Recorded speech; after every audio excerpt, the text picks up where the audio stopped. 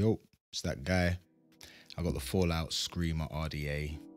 Uh, it's a combination or collaboration rather of Fallout and Mechlyfe on this one. Dual coil RDA, nice and spacious one. Don't worry about that little band coming off. Just pop it right back in. No problems at all. No need, no reason to score it any less. This drip tip, as you're about to see, gave me some trouble. This guy did not want to come off. I had to resort to using tools and all sorts. I did cause very minor scratching to the top of the top cap, is that what it's called? The cap of the RDA, which I am upset about, but once the drip tip's on there, you can't see it, so all is not lost at all. Very nice drip tip. Nothing super special. Gets your job done, looks nice. Just checking on the top of that.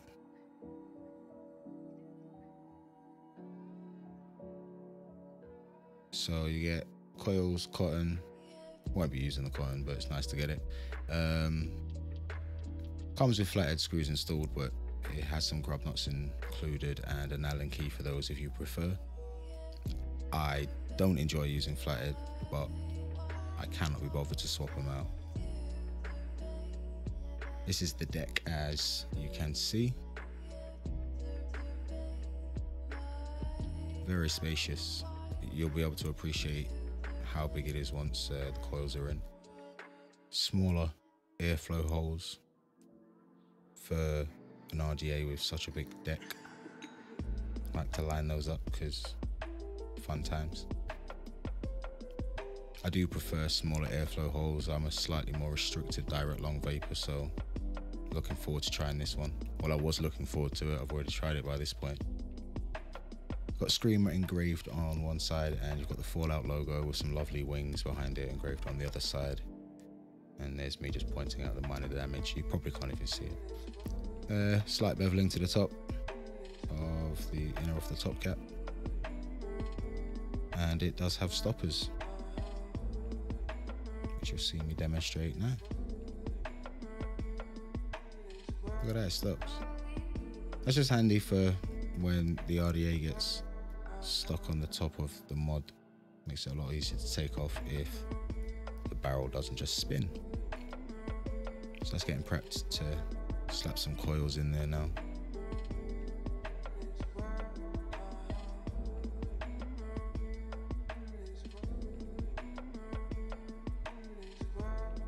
Just getting a feel of the uh, leg length. Just gauging what I want them at, or how much I want to shave off really. And I decided to go for a 7.5 millimeter leg length on these ones. Um, that's just because the airflow holes then meet the ever so slight underside.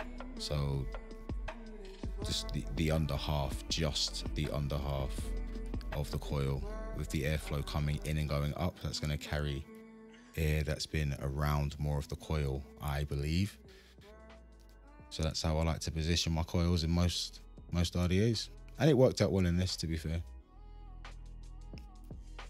So these are three millimeter inner diameter coils. Uh, these are the ones that came included with the RDA.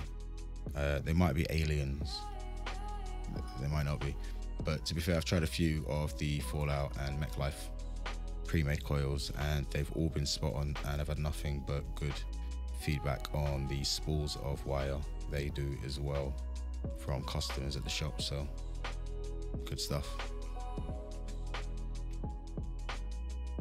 yeah so I've got them in place after getting them to the right leg length. I'm just going to position them correctly. Um, I've been seeing on the old Facebooks and um, been chatting to a few people that have had one of these and everybody says to position the the coils closer to the airflow holes than to the center of the deck which is what I normally would do put them as close to the center without touching as, as I could get them so they're bang underneath the uh, drip tip. But um, I have had no problems with it like that at all I've really enjoyed it with the coils in that position closer to the airflow hole so keep doing that I was going to use the Gale, but then I realized I'd have to go dig out my 21 700s. Could not be bothered with that, so Old Faithful Minikin 2 out.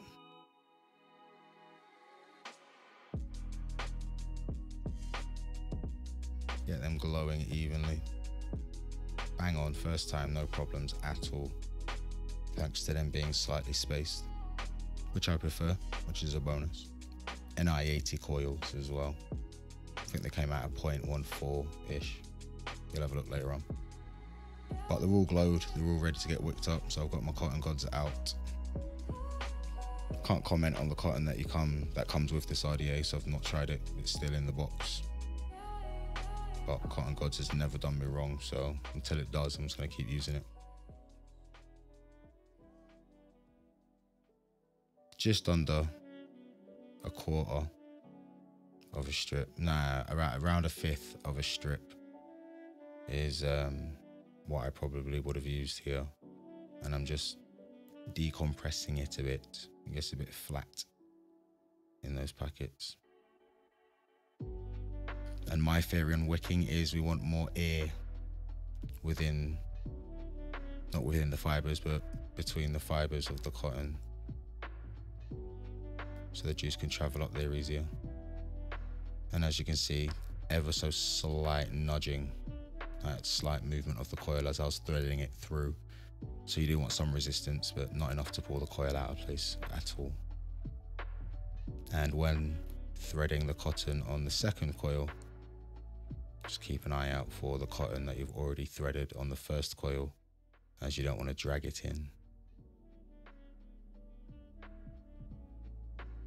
And uh, try to pinch the cotton as you're pulling it through as close to the coil as possible so you don't get any breakages in the cotton. You don't need to use as much. I have wasted a lot of cotton on this, but I just wanted to make sure I did it as best as I possibly could because it's the first time I've used this RDA and I want to give it a fair try.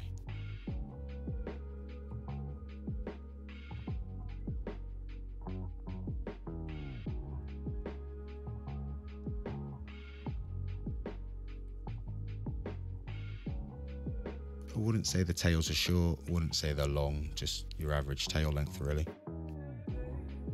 If I remember correctly, I trim them down just a little bit more beyond this point. Yeah.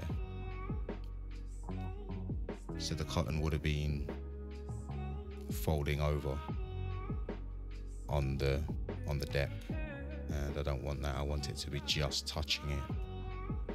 Or better yet just just just rather shy of touching the deck so the juice can almost get under the cotton.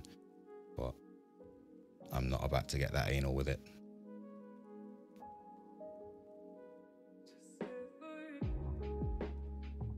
exactly the same on the other side. Just be a little bit more careful when sorting out the uh, tail lengths on the second side because on the first one you've always got room to play with again and you but on the second side you don't. Looking pretty, looking nice and symmetrical. Getting juiced up. This is a Knights Vape blackcurrant and cherry ice. Sorry for not paying attention and not showing you the label correctly, but you know, what do you expect? Love this juice, one of my top five flavors easily. Got them vapors. I think I do show you the wattage and, or is it, yeah, no. Just showing you the airflows all the way open.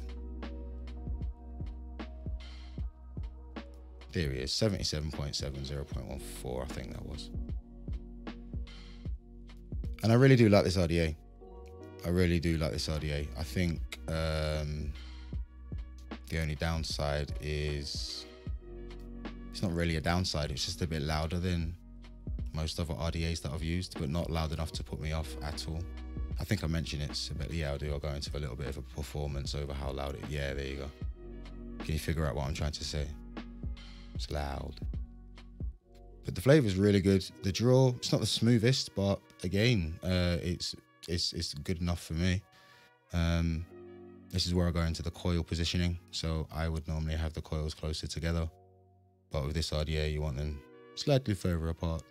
Apart, yeah, sorry. Don't mean to be so patronizing, but I knew that I'd be dubbing this. But yeah, if you can get one, get one. They're about 35 squids. Peace.